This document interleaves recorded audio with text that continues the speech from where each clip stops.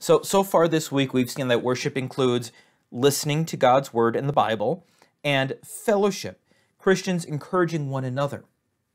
The, the next part of Acts 2 says that they devoted themselves to the breaking of bread. Now, that phrase can mean two different things.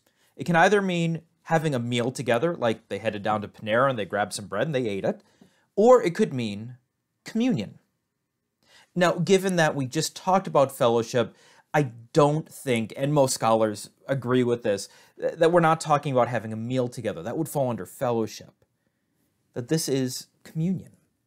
That worship includes the, the celebration of the Lord's Supper. That we get to commune with God and with one another, taking in Jesus' body and blood in with and under the bread and the wine that worship includes this celebration of what God has given for us.